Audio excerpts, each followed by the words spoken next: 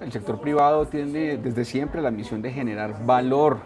en la sociedad a través de procesos de mercado, de desarrollo de productos, de crear riqueza en la sociedad.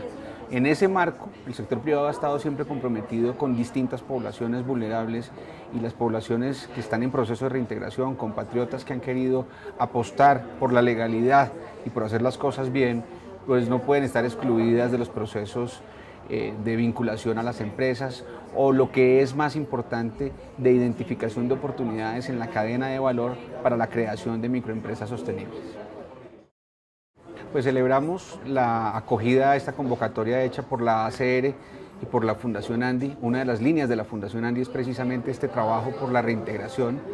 tanto a través del reconocimiento de los de las personas que han participado en el proceso y que han sido capaces de crear iniciativas productivas sostenibles a través del premio Carlos Arturo Ángel, que todos los años la Asamblea Nacional de Empresarios de la ANDI le entrega a los mejores proyectos de emprendimiento entre los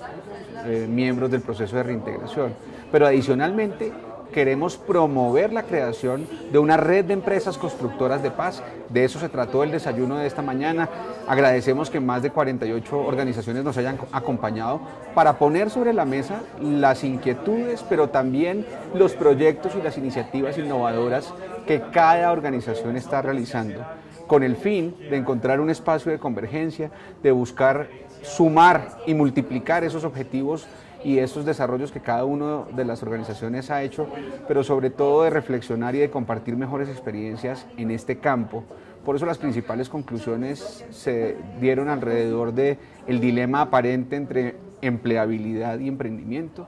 con una clara apuesta del sector privado por el emprendimiento y el encadenamiento productivo,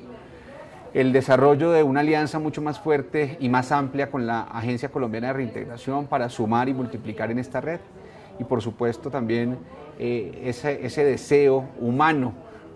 de encontrar unas mejores relaciones de las empresas con la sociedad a través del apoyo a estas iniciativas. En definitiva, convocar una red de trabajo conjunto para sumar y multiplicar, que es el lema de la Fundación Andy de la Gerencia de Responsabilidad Social Empresarial.